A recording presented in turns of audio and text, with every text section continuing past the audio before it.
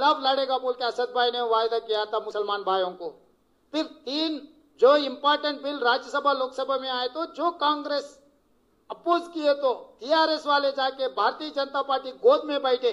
इसके बारे में सोचने का वक्त है इसीलिए हम लोग आवाज़ उठा रहे, जो पॉलिटिकल एडवांटेज राज्यसभा में बीजेपी को मेंबर्स नहीं है, कम है तो राज्यसभा में कोई भी बिल पास होना बोले तो टीआरएस का, राजनीति में टीआरएस का मदद ज़रूरी है। तो इसका हाथ पकड़ लेके, इसका जो चोरी कामा पकड़ लेके, हाथ में ले लेके फ़ाइल छुपा के इसको ब्लैकमेल कर रहा है। मतलब इसका पैसा लालूच है, उनका राजनीति का लालूच है। दोनों लालूच चल रहा लोगों को भटकाने के लिए। एक बहाना दिखा रहा है। नड्डा जी आके यहाँ पर बोलेगा कालेश्वर में चालीस हज़ार करोड़ रुपए कमाए लक्ष्मण जी बोलेगा, थाउज़ेंड ऑफ़ क्रोर्स जनको में, ट्रांसको में टीआरएस वाले कमाए। फिर उन लोग वापस बोल रहे, सीबीआई डालो, हम जाँच कराओ, हम देखेंगे। फिर कौन रोक रहा है? लक्ष्मण को, भारतीय जनता पार्टी को कौन रोक रहा है? टीआरएस वाले वही मांग रहे हैं, सीबीआई जाँच करो, बोल के। जो अपोजिशन पार्टी, कांग्रेस पार्टी, हम लोग वही मांग रहे हैं। फिर बीजेपी को कौन रोक रहा है? वो बात तो लोगों को बोलना है ना।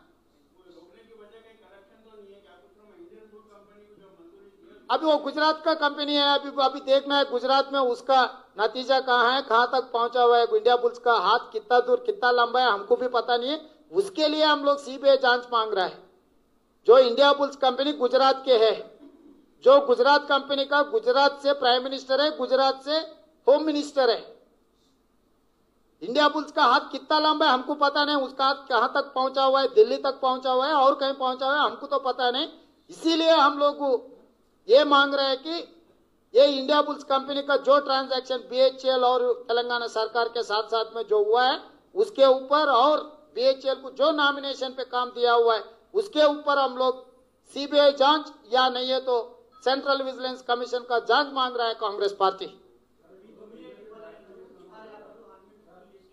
ఈ- ఈ రోజు దీని మీద మాట్లాడు ఈ- ఈ రోజు దీని మీదనే మాట్లాడదాం దీని మీద ఏం కావాలన్నా అడగండి చెప్తా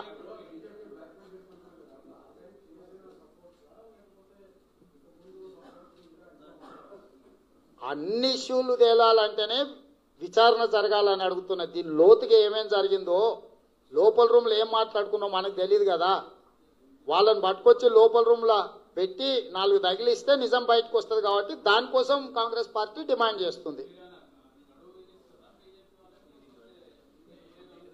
ఖచ్చితంగా ఈ ఆధారాలు బయట పెట్టిన తర్వాత లేఖలు రాస్తాం లేఖలు రాసిన తర్వాత రాష్ట్రపతిని కలుస్తాం ప్రధానమంత్రిని కలుస్తాం హోంశాఖ మంత్రిని కలుస్తాం అన్ని రాతపూర్వకమైన ఫిర్యాదులు చేస్తాం.